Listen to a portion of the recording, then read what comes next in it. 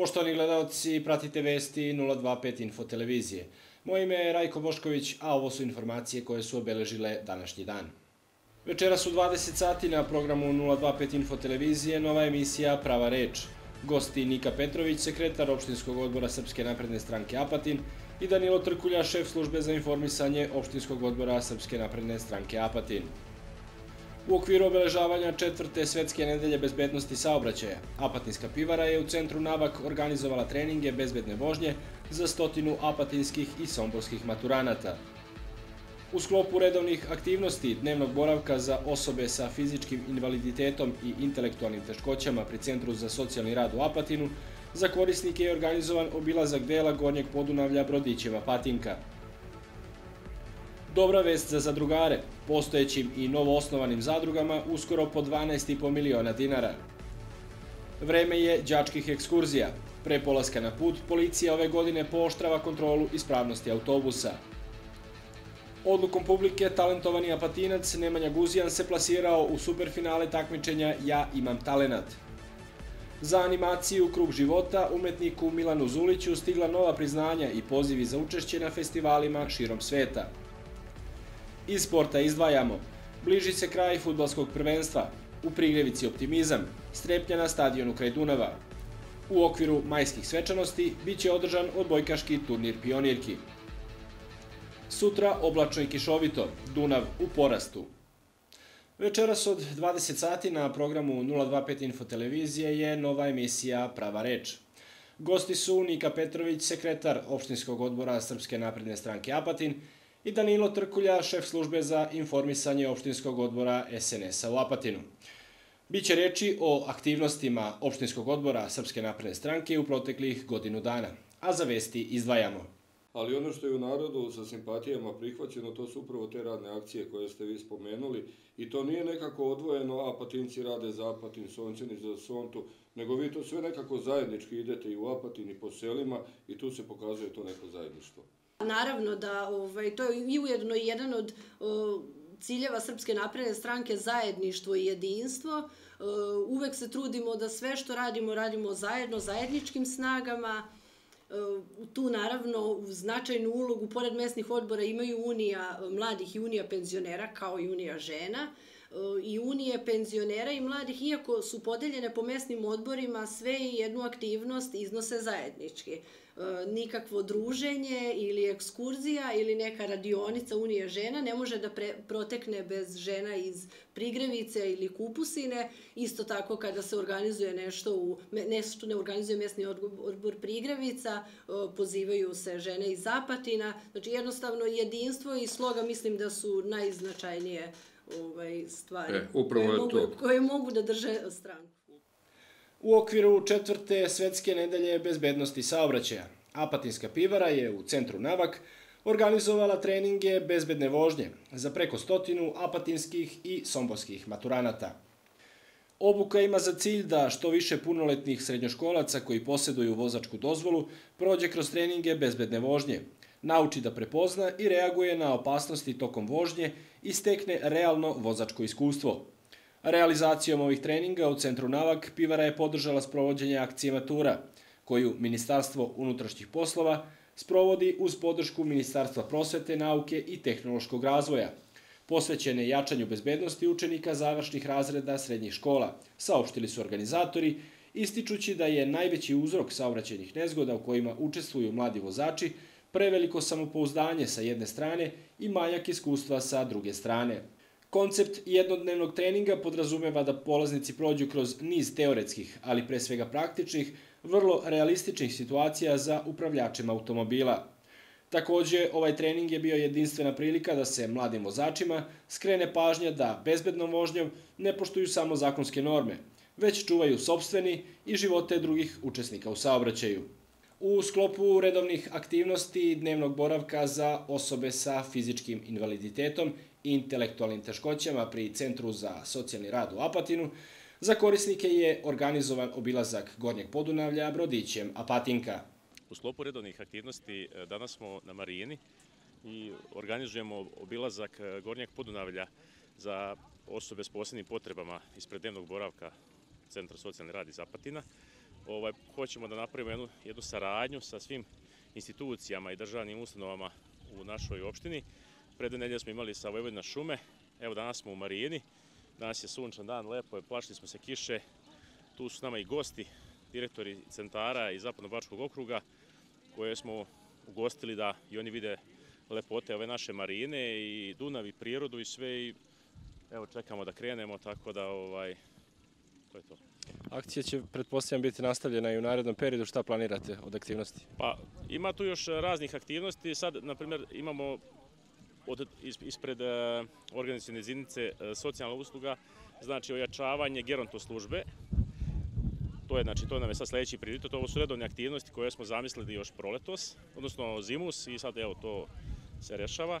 Ovaj, e, za ribarske večeri ćemo praviti neku ekskurziju, isto ovako nešto, e, prodajnu izložbu, to se sad radi neki nakit e, od brašna i ne znam, oni to osmišljavaju, ovaj, neka keramika i bit će interesantno. Znači, gledamo da našim korisnicima dan prođe u kvalitetnom radu, da odu kući puni utisaka, da roditeljima pomognemo njihovim da mogu za tih 8 sati koliko su oni kod nas da nešto urade po kući, jer to su osobe s posebnim potrebama i roditelji su poprilično zauzeti brigom o njima.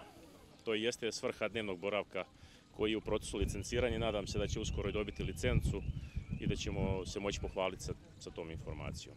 E, znači, drago nam je što možemo danas da ugostimo Centar za socijalni rad, njihove korisnike kao i goste iz Novog Sada. E, njihova vožnja će trajati oko dva sata i razgledat će specijalni rezervat Gornje Podunavlje, a kasnije će obaviti ručak u našim prostorijama, odnosno sale e, za iznajmljivanje koje mi inače iznajmljujemo kao salu za seminare.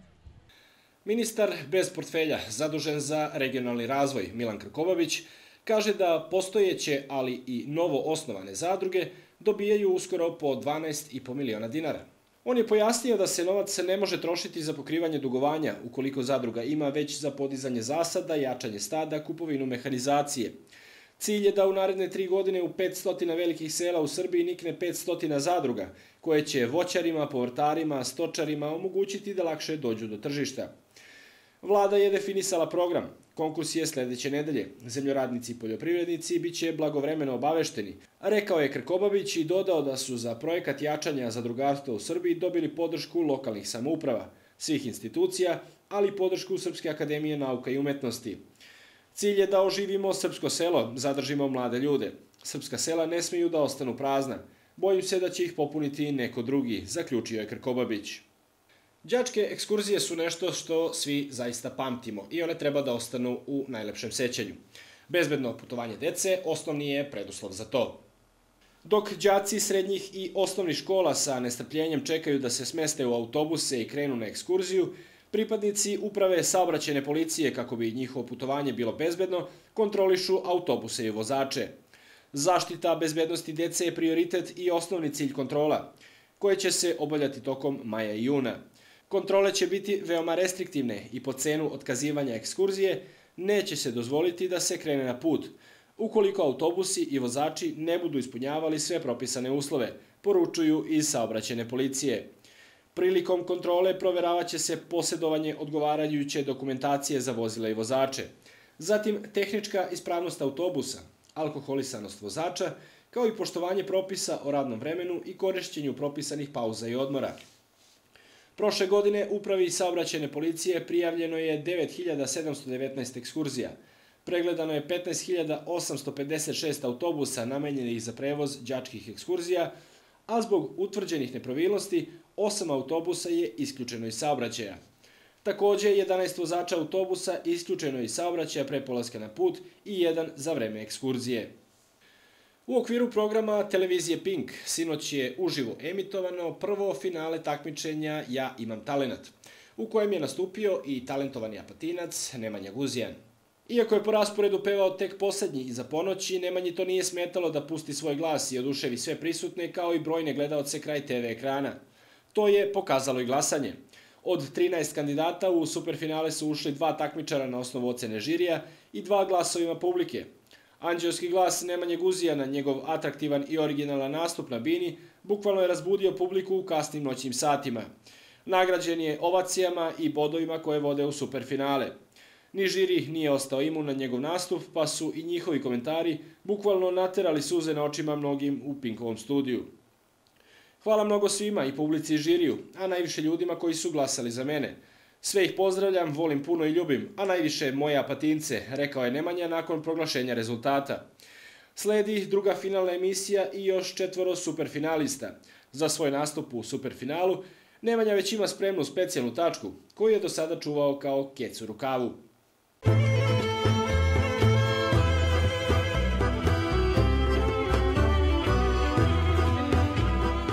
U svetu umetnosti apatinskom umetniku Milanu Zuliću sa svih strana stižu priznanja za njegovu animaciju Krug života.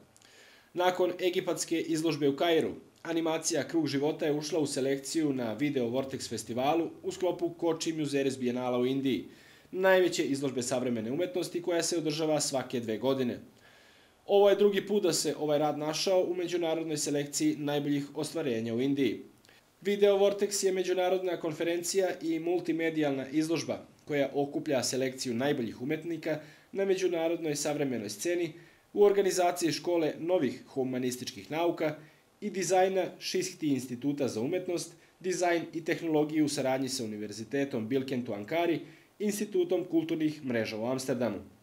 Nedugo zatim isti rad je prošao selekciju čileanskog festivala Proceso de Error i našao se među najboljim ostvarenjima umetnika iz Španije, Italije, Portugala, Meksika, Amerike, Argentine, Engleske, Brazila i Čilea. Ovaj festival je održan u prelepom čileanskom gradu Valparaiso u organizaciji Inve platforma eksperimentalne umetnosti. Nekoliko dana nakon izložbe u Čileu stigli su rezultati američkog žirija koji je isti rad selektovao za internacionalnu izložbu u galeriji Index Art Center koja se nalazi u Njujorku, New Jerseyu. Reč je o izložbi koja se održava već 12 godina i na kojoj su autori imali priliku prikazati različite medije u savremenoj umetnosti. Ovaj put Milan Zulić se našao među umetnicima iz Amerike, Kanade, Australije, Engleske, Danske, Holandije i mnogih drugih zemalja.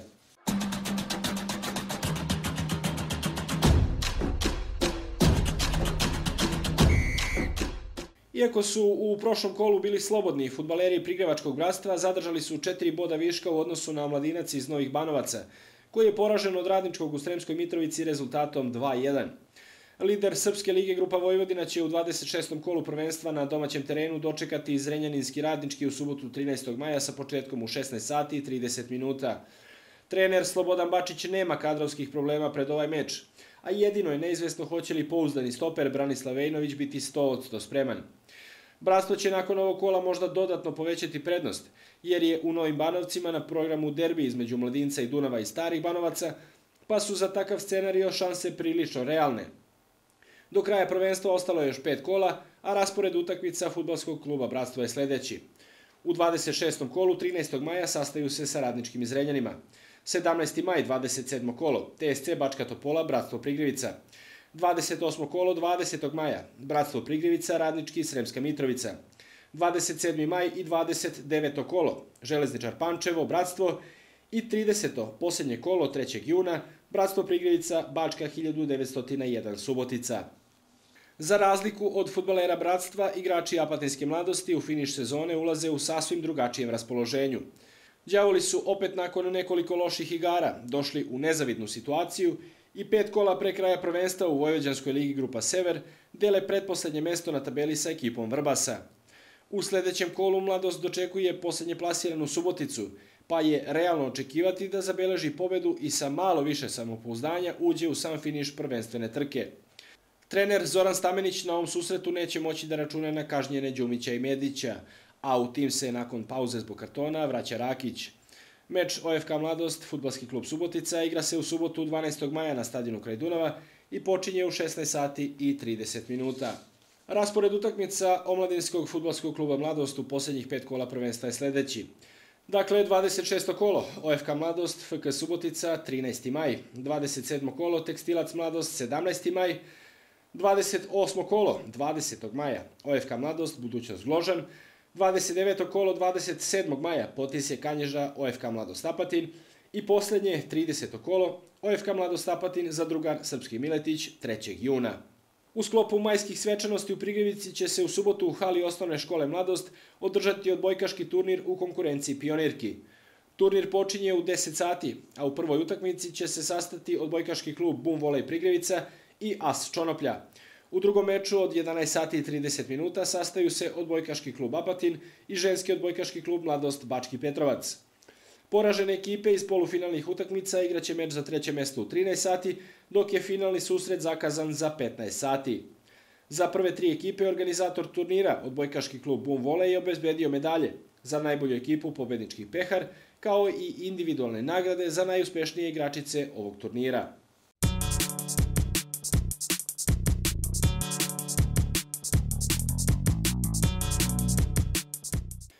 Po najavi prognostičara, sutra se očekuje oblačan i kišovi dan sa nešto nižom dnevnom temperaturom, koja će u najtoplijem delu dana iznositi 19 stepeni. Nivo Dunava kod Apatina danas je iznosio 409 cm, a za sutra se očekuje porast do 462 cm. Ovaj visoki talas će trajati još dva dana, a od ponedeljka se predviđa pad nivoa reke. Pre samog kraja današnjih vesti još jednom pogledajmo koje su to informacije obeležile današnji dan. Večera su 20 sati na programu 025 Info televizije nova emisija Prava reč.